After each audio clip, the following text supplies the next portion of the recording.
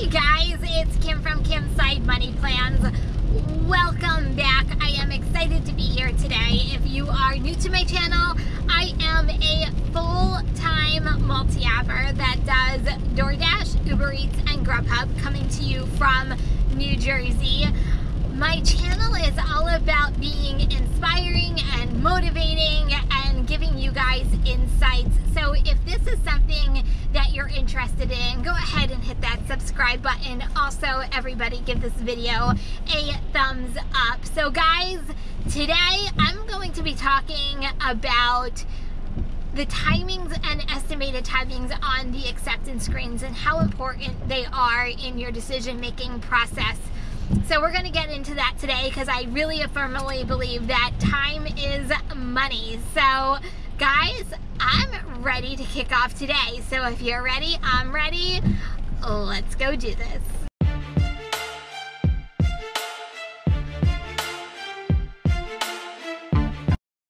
Okay, so I'm excited to talk about this topic because I'm actually really passionate about this topic because I think it's a really big, important part of making a decision to take orders um, when you are looking at acceptance screens. So this idea of the video comes from, I was chatting on Instagram with Lou from Mary and Lou from the Long Island Dash Experience. If you have a moment, go check out their channel. They are multi-appers just like me and they are fun, they're exciting, they give great information. So go ahead and go check them out. But we were talking the other day, or chatting on Instagram, I should say, about how important timing and estimated times are on the acceptance screens. And to me, they are super important. And what do I mean by that? So when I look at an acceptance screen, obviously you look at the dollar amount because let's let's face it, money talks, right? And then I look at the miles and how many miles it is. But then I really look at how long is each one of these orders are going to take me. Because let's face it, and every market is different and you can put in any dollar amount but I am trying to achieve a $25 an app per hour goal and you can put any goal that you want to put in there. And also I have a goal in order to achieve that $25 of doing three orders per hour as well. And that's usually my mix and my formula and how I achieve the numbers that I achieve. And when you're looking at estimated times, whether it's estimated delivery for DoorDash or the estimated time it's going to take you to do the order on Uber Eats, to me it's really important because, and I'm going to give you guys examples. If you are going to take, and this is going to sound like a fantastic order, you're going to take an $8 order. It's only going three miles and but it's going to take you a half hour to do to me that's going to cause me to go er, because if it's going to take me a half hour to complete just that one eight hour order and the next half hour I have for the hour that I have to complete I'm going to have to do two more orders and they're gonna have to be over $8 in order for me to achieve my $25 an hour goal. But I'm gonna say the same breath, if I'm going to take, I'm making this up, a $12 order, but it's going six miles, but it's only gonna take me 14 minutes, I'm gonna jump all over that order because A, it's $12, and then I still have 45 more minutes to achieve two more deliveries in the hour.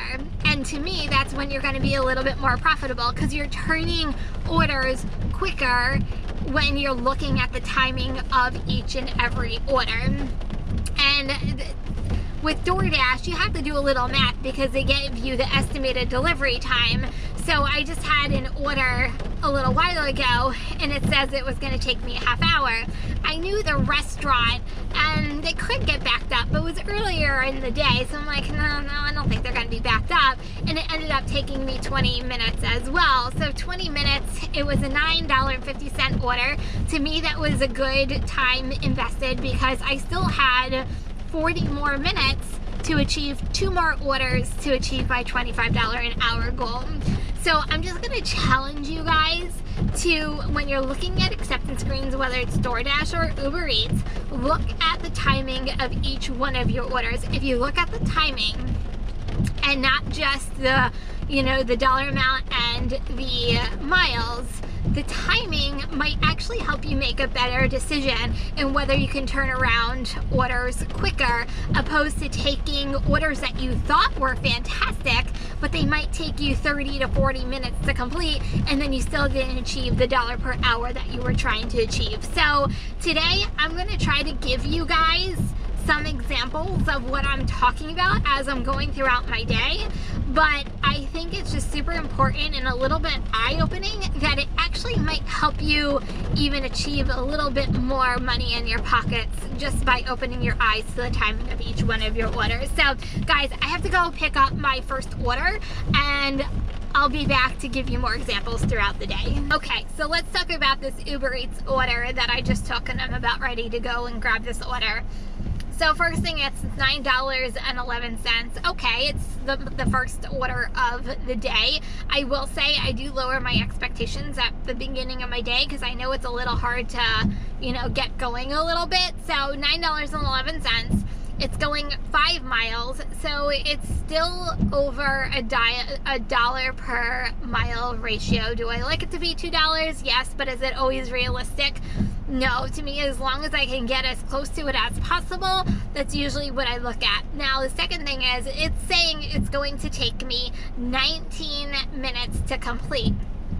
In my book, I'm like, okay, 19 minutes not too horrible because I'm at the beginning of the hour and if I can complete it actually even quicker, I'm always trying to do it quicker than what the time is going to do because time is money and that's where the hustle piece comes in. But if it's 19 minutes, it still gives me 40 more minutes to get two more orders done within the hour. So I took this order knowing the timing, knowing the dollar amount, and knowing the miles. So I am going to go in and hit the turning point in Little Silver. I know you guys don't know what Little Silver is, but the turning point is a breakfast place. So let me go in, let me go grab the order, and I'll be on my way. Okay, so while I was in getting my, the first order, an add-on order came through for Uber Eats. So it's saying it's $13.68, so check. It's only going 3.6 miles, so check again. But it's going to take me, according to this, 27 minutes. So if you add the 27 minutes on top of the 19 minutes, the whole batch order is going to take me 46 minutes for $22. So it falls a little short of my $25 an hour.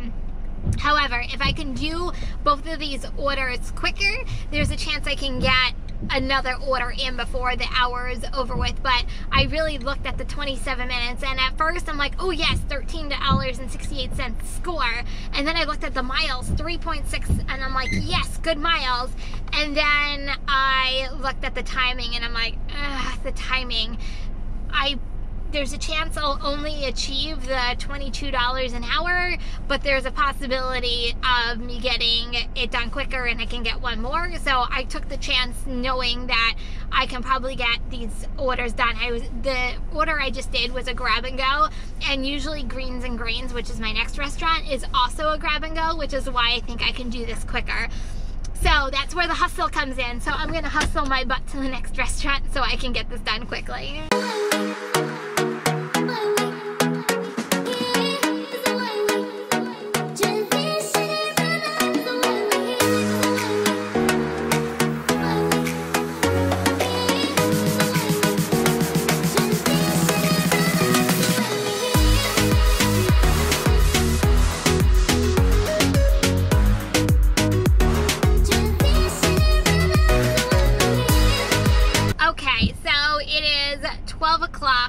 Started a little bit earlier today. I started at 10 o'clock this morning, so I've been at it now for two hours and I have in right now $53. So I just completed the last act order and I am waiting on my next order. But while I'm waiting on my next order, I did want to show you. I know it's like a bad example, and I would have I wouldn't have taken this order anyway, but I want to give you an example. Ooh, hold on, that order's coming in. Let's see if it's good. It is not good. so, just to give you the breakdown, so we'll do this live while it's happening. So, it is 6.5 miles for $7. So, it's a dollar per mile, a little over a dollar per mile, which I'm not crazy about during this time. First of all, it's going to an area that I'm not crazy about going because it takes uh, takes forever to get there. It's saying I it's now 12:10. It's saying I'm going to be delivering by 12:43. So it's saying it's going to take me 33 minutes to complete a $7 order. So this is what I'm talking about the dollar to time ratio is if I took that order for $7 and it took me 33 minutes to complete, I would need, uh, I wouldn't even come close to making my $25 an hour if I took that order because I would only have less than a half hour. I would have 27 minutes in order to get I do my math right? I'm like, am I doing my math right? in order to get 20, no, 18 more dollars. Wow, that was, that was difficult to do my math in my head for half a second. So it would take me, I would need, yeah, that's crazy. So that's why that order would not work. Another example is I got this order and I know no one would take this. Ooh, I'm getting McDonald's order. We all know I love McDonald's. At least I thought I was getting a McDonald's order. Come on.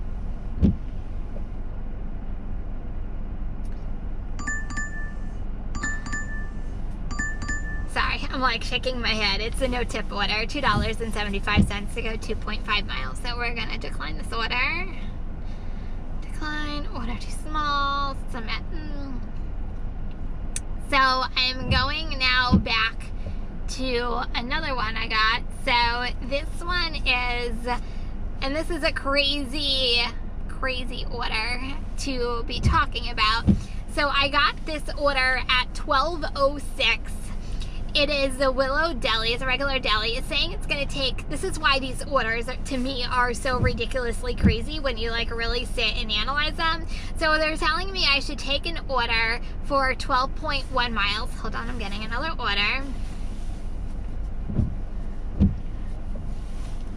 no, I'm not taking this one either. It is six miles to go, $9, but it's telling me it's going to take me 40 minutes to complete, which also during my lunchtime, I always have a shorter window, so I try not to take long distance orders and I try not to take like timing wise long orders unless it's worth the money and this is totally not worth the money.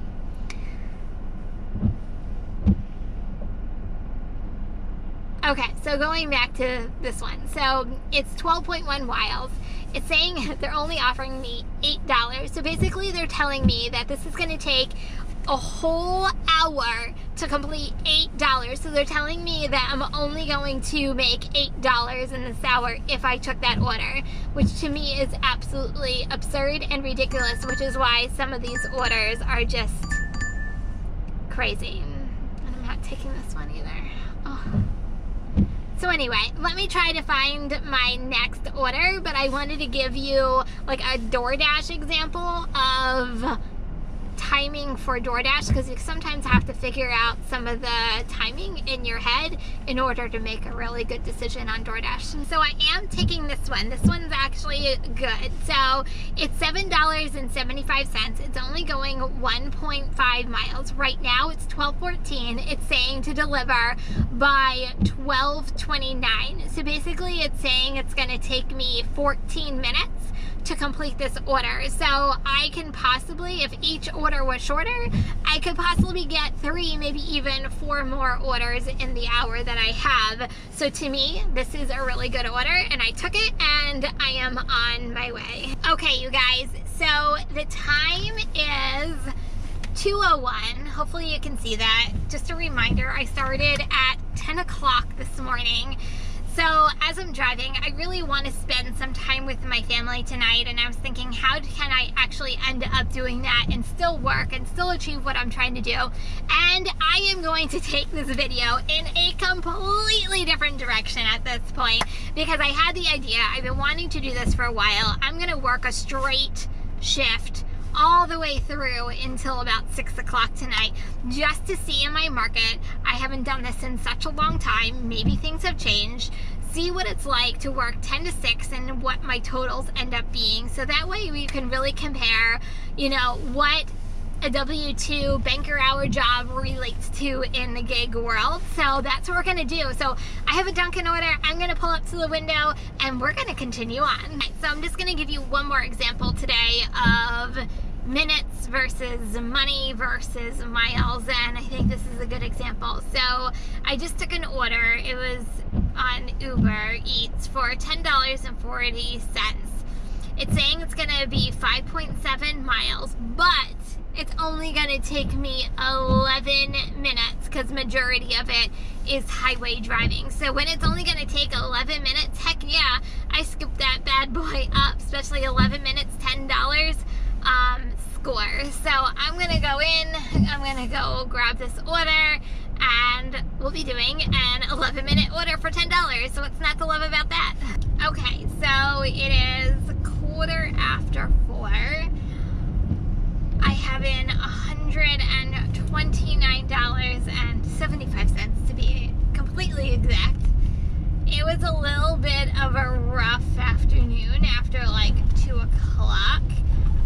I went like probably for like a 45 minute span where there were no orders coming in and then finally I got an order and it was only like a couple blocks away from where I was at and it just so happened to be the same time all of the schools were being let out and it literally probably took me 15 minutes just to go three freaking blocks so that was a little on the frustration frustrating side so I have two hours to go and we're gonna do the best we can in those two hours. So I'm a little behind and we're gonna keep on going. Okay, you guys, so it is 6.15. Everything is gonna, is everything is shut off and I'm heading home because I'm gonna have dinner with my family tonight. This is what I'm gonna say. If I work 10 to 6 or 9 to 5, I would not be making the $200 goal that I have set for myself every single day. It just wasn't busy enough during the times that I needed it to be busy. So before I went full time, I did these little shifts and experiments to know exactly when the peak times are in my area and that's how I came up with 11 to 2 and 5 to close because I really believe in working smarter and not longer and harder. And I really try to jam pack as much as I can in the peak times that are available in my area. And a lot of it was trial by error. And I suggest you guys go and do the same thing. If I worked in my area, to be completely honest and blunt, if I worked in my area 9 to 5 or 10 to 6, I would think like I would have the slowest area ever because there were periods of times this afternoon where I just wasn't getting orders and I went to a parking lot that I normally sit in and I was just waiting on orders to come in versus the times that I go out, I know are the peak times and I'm constantly always going and I'm constantly getting orders and that is how I'm getting to a lot of my totals that I'm getting to. So I encourage you guys to find out what your peak times are in your area and if you want to maximize your money, those are the times that you're going to work in, but every area is going to be different. So you're going to have to do a lot of figuring out and trial by error in your own area. So that would be my word of advice is fig figure it out what works for you, what works for your area. You know, if you are set set in stone, I'm to work 9 to 5 or 10 to 6, you just might not be able to maximize the amount what your area has to offer. But maybe your area that is your busiest times you never know what each area is going to bring to the plate but you know what figure it out for yourself but really figure out when your peak times are and that's what's to make you the most successful so guys I'm gonna give you guys my numbers in a little bit. Let me head on home and we're calling it a day. Okay, you guys, I am ready to get right into the numbers of today. So for DoorDash, I did $16.25, $7.75, $10.75, so a total of $34.75. On Grubhub, I did $59.95. And then on Uber Eats, I did $87.58. So my total for today was $182.28. I worked eight hours, so on an average, I did $23.12 an hour. And then as far as deliveries are concerned, I did five DoorDash deliveries, four Grubhub deliveries, and nine Uber Eats deliveries, a total of 18 deliveries altogether. So on an average, I did $10.11 a delivery. Hey you guys, so those are my totals for today. Once again, if you're new to my channel and drive for Grubhub, Uber Eats, or DoorDash, don't forget to hit that subscribe button. Everybody give this video a thumbs up. And guys, that's it for today. If you are driving, please stay safe, please stay healthy. Remember, kindness is always free. I love you guys, and I'll see you a little bit later. Peace out.